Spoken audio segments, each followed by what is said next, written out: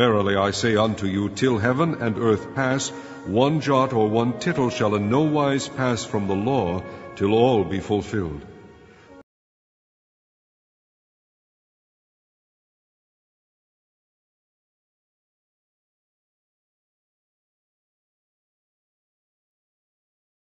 And then shall appear the sign of the Son of Man in heaven, and then shall all the tribes of the earth mourn.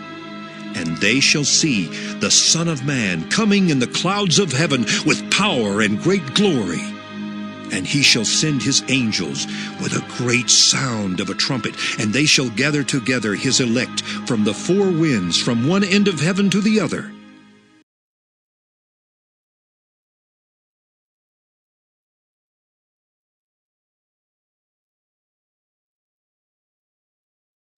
Isaiah chapter 19 The burden of Egypt. Behold, the Lord rideth upon a swift cloud, and shall come into Egypt. And the idols of Egypt shall be moved at his presence, and the heart of Egypt shall melt in the midst of it. And I will set the Egyptians against the Egyptians, and they shall fight every one against his brother, and every one against his neighbor, city against city, and kingdom against kingdom. And the spirit of Egypt shall fail in the midst thereof, and I will destroy the counsel thereof. And they shall seek to the idols, and to the charmers, and to them that have familiar spirits, and to the wizards. And the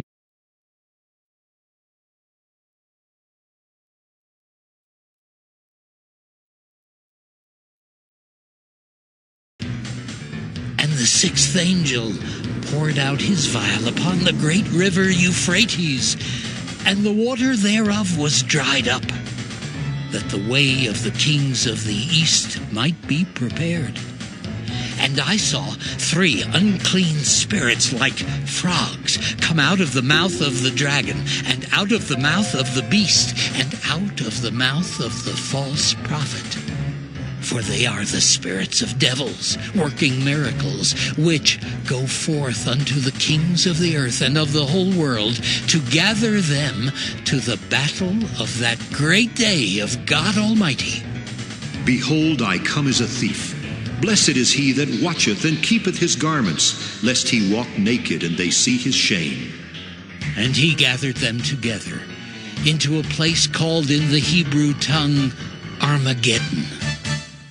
And the seventh angel poured out his vial into the air. And there came a great voice out of the temple of heaven from the throne, saying, It is voices, and thunders, and lightnings, and there was a great earthquake, such as was not since men were upon the earth, so mighty an earthquake, and so great.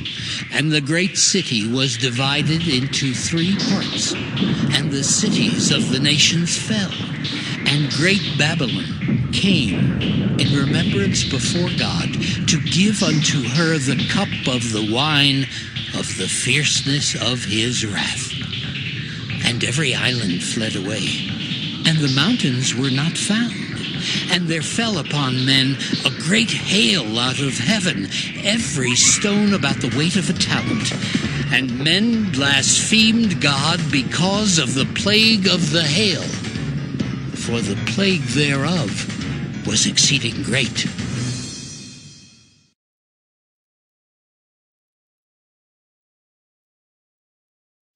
Zechariah chapter 14 Behold, the day of the Lord cometh, and thy spoil shall be divided in the midst of thee.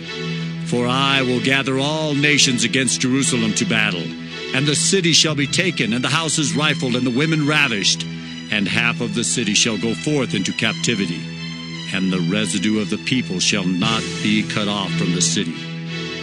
Then shall the Lord go forth and fight against those nations as when he fought in the day of battle. And his feet shall stand in that day upon the Mount of Olives, which is before Jerusalem on the east. And the Mount of Olives shall cleave in the midst thereof toward the east and toward the west. And there shall be a very great valley, and half of the mountain shall remove toward the north, and half of it toward the south. And ye shall flee to the valley of the mountains, for the valley of the mountains shall reach unto Azael, Yea, ye shall flee like as ye fled from before the earthquake in the days of Uzziah king of Judah. And the Lord my God shall come, and all the saints with thee. And it shall come to pass in that day that the light shall not be clear nor dark, but it shall be one day which shall be known to the Lord. Not day nor night, but it shall come to pass that at evening time it shall be light.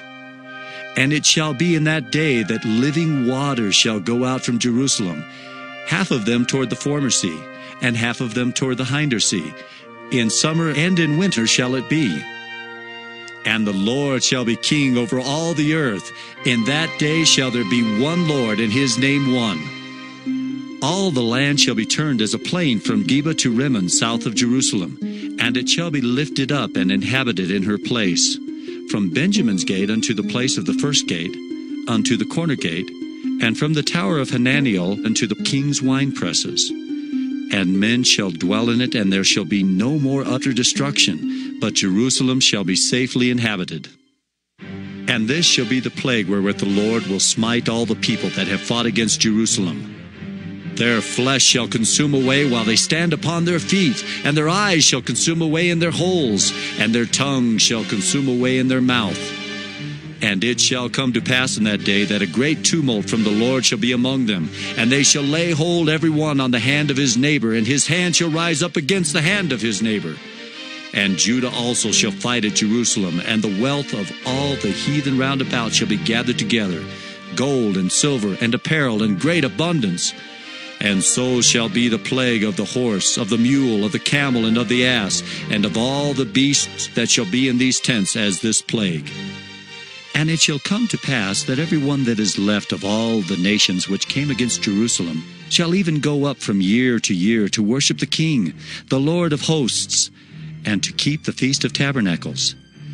And it shall be that whoso will not come up of all the families of the earth unto Jerusalem to worship the King, the Lord of hosts, even upon them shall be no rain.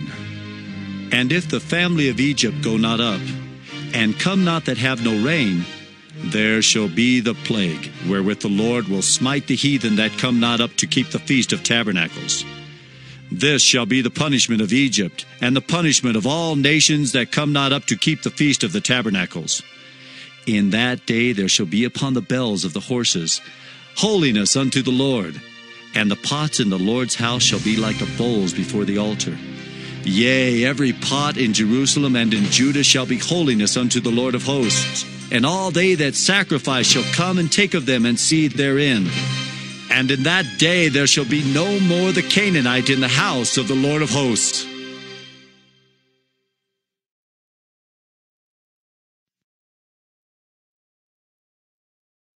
And I saw heaven opened, and behold, a white horse.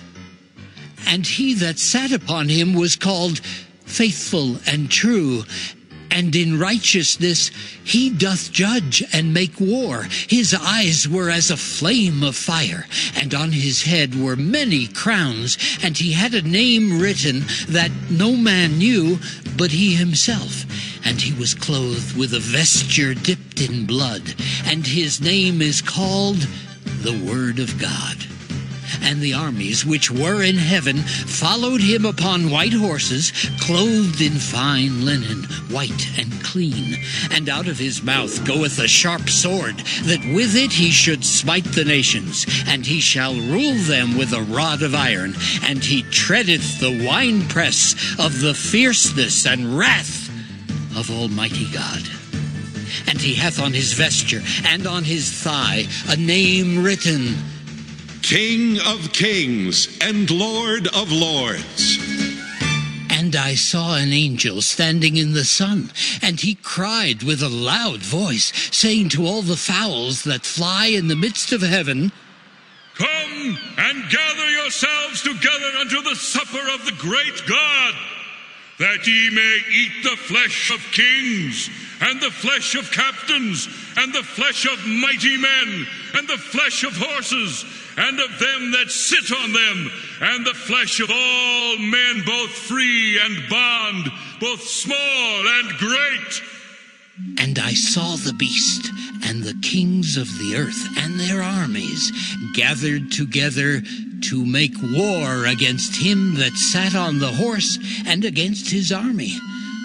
And the beast was taken and with him the false prophet that wrought miracles before him, with which he deceived them that had received the mark of the beast, and them that worshipped his image. These both were cast alive into a lake of fire burning with brimstone. And the remnant were slain with the sword of him that sat upon the horse, which sword proceeded out of his mouth. And all the fowls were filled with their flesh.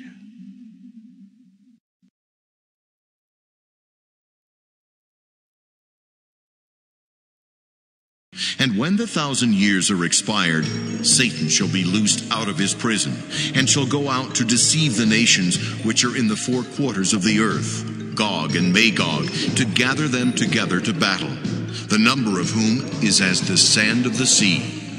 And they went up on the breadth of the earth, and compassed the camp of the saints about, and the beloved city.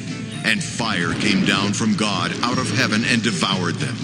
And the devil that deceived them was cast into the lake of fire and brimstone, where the beast and the false prophet are, and shall be tormented day and night forever and ever. And I saw a great white throne, and him that sat on it, from whose face the earth and the heaven fled away, and there was found no place for them. And I saw the dead, small and great, stand before God. And the books were opened, and another book was opened, which is the book of life. And the dead were judged out of those things which were written in the books according to their works. And the sea gave up the dead which were in it, and death and hell delivered up the dead which were in them, and they were judged every man according to their works. And death and hell were cast into the lake of fire. This is the second death. And whosoever was not found written in the book of life was cast into the lake of fire.